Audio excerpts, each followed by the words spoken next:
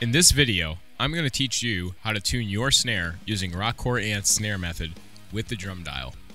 First, you want to make sure that you have new heads. I cannot stress this enough. Old heads sound like crap, they feel like crap, whatever. I don't care, do what you want, but I recommend putting on new heads. In this video, I'll be tuning a 14x6 DW VLT snare drum. The head combination I'm using is a Remo coated Emperor over a Remo snare side hazy ambassador. Alright, once you've got your head selected, you want to take off the old ones and inspect your bearing edge. I recommend when you detune your head that you do it in the star formation, that way you don't do any damage to your bearing edge. Okay, once you have your heads off, you want to inspect the bearing edge. You want to make sure there's no dirt or debris around the rim, and you want to make sure everything's nice and clean. Alright, so you got both heads off and the snares off. What you want to do is you want to take your shell and you want to check the hardware, clean it up a bit, and then go on to the next process, which is taking your heads and placing them on the drum. Alright, so once you got the old heads off, flip your drum over to the resonance side, slap on your new head, and throw the rim on and start finger tightening your lugs. Alright, so I got a finger tight. Now what I'm to do is I'm to start tightening the head up using the star formation. It's, um, some people use one key, some people use two. I really don't care. I just use whatever. I'm to use one key for this video.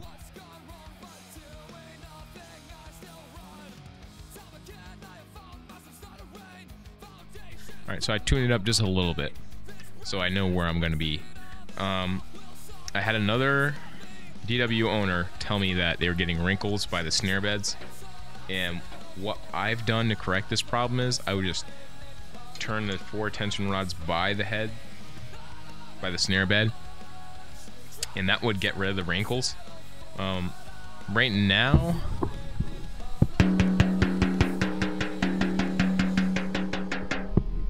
right now I don't really have any wrinkles there so it's not too bad. It's just off a little bit on one of these lugs.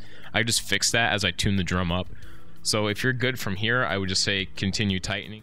Okay so once you have your head finger tight you want to go ahead and start tightening in the star formation. So you go one two three four five six seven eight nine ten. Just like that throughout the whole drum.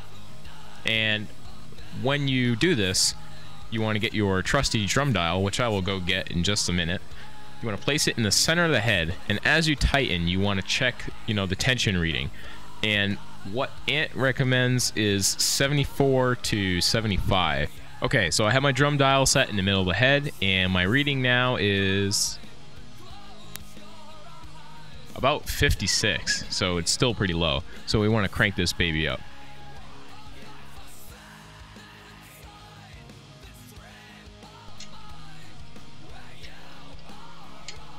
And when you're doing this, make sure you pick up the drum dial and put it back down, or else you're not going to get an accurate reading.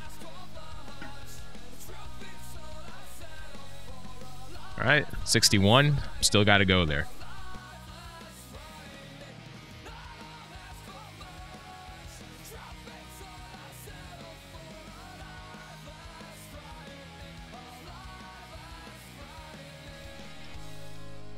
Let's take another look. Almost there, almost there.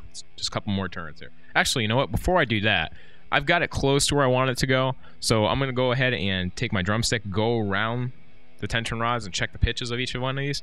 And I'm going to try to get them all close to, you know, one pitch. Okay, now we're moving to the top head.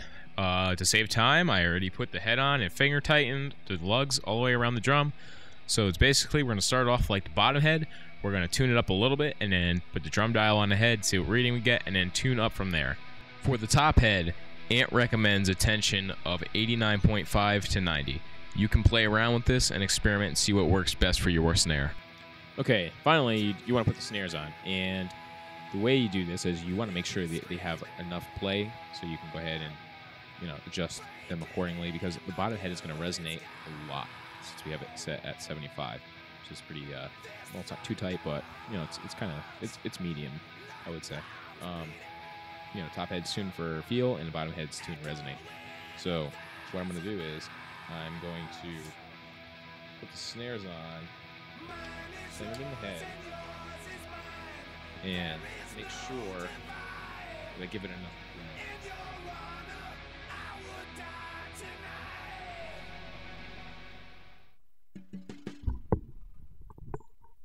All right, now I want to tighten my snares so that I can get them to contact the head the way I want them to. And if you hear it right now, it's pretty damn dead. The snares are dead.